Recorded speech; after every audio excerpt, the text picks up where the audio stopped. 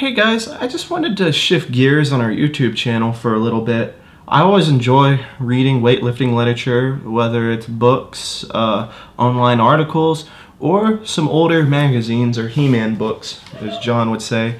And today I wanted to touch a little bit on an article that I was reading back from the January 1970 issue of the Strength and Health magazine. And these were put out by Bob Hoffman. Um, he owned York Barbell Club, and he is often considered the father of American weightlifting for um, how he helped cultivate the sport in this country. And the article I wanted to talk about is the ABCs of Weightlifting by Tommy Kono.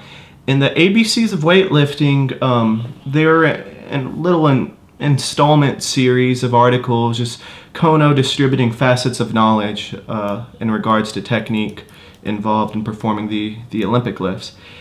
And Tommy Kono, he's, uh, oh gosh, uh, his name speaks for itself, but he was a two-time Olympic champion, won the world championship, set plenty of world records, and he was actually Mr. Universe uh, a handful of times back when weightlifting and Mr. Universe were held in conjunction with one another.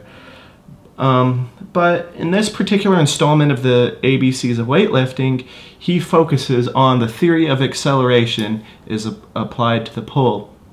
And it's split up into two sections. The first section talks a, a little bit on how and when force is applied in the pull.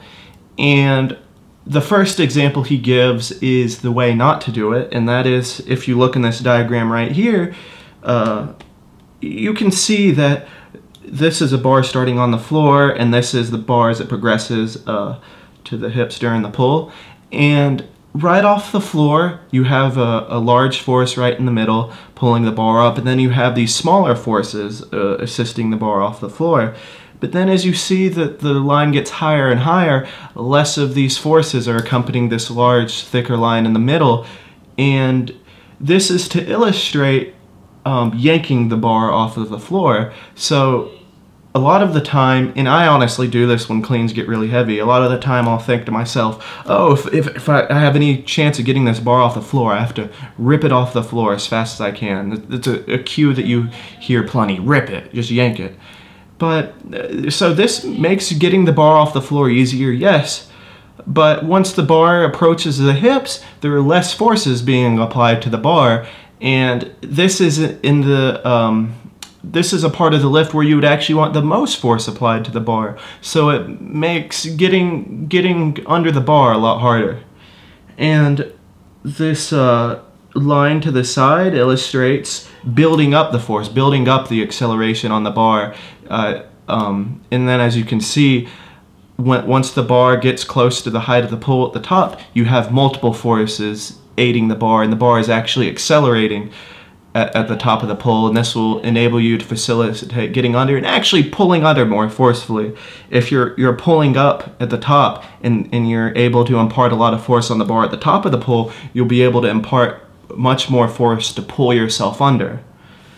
And the second point that he makes in this article and is really the the bigger takeaway from this article, I believe, with how much more he wrote about it, is banging the bar off of the hips. Now, when at the time that this article was uh, was written, um, it was it had only been a few years since the bar was actually allowed to graze or brush the thighs. That's the, the reason the clean initially had its name is that that you were not allowed to contact the bar in any way from the floor to when it arrived at the shoulders. Um, but it was back in the in the I believe the late 50s or early 60s that the bar was actually allowed allowed to uh, to graze or brush the thighs, and and as a consequence of that, once the rule was changed, lifters would deliberately bang the bar into their hips, and as Kono says, they believed that it would help them lift heavier weights.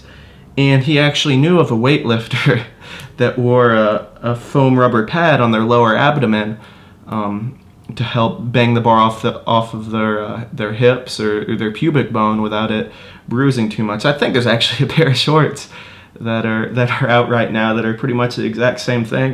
Kono wrote about it back in the 70s, but um, but really Kono um, he just goes on to say that this will actually slow the bar down and it will do distort the bar and move it off of the correct, correct bar path. And he uses this diagram right here to, to give a little um, comparison on what would happen if the bar is banging off of the hips. Right here you can see this car heading towards the guardrail and it smacks into the guardrail and comes off when, when a car would smack off of a guardrail, it's going to slow down as it bounces off and, and, changes direction. Whereas if the car is heading towards the guardrail and it, it, it kind of um, it kind of just manages to turn and, and miss this guardrail, it, it can actually come off and, and accelerate better than if it were to strike a guardrail.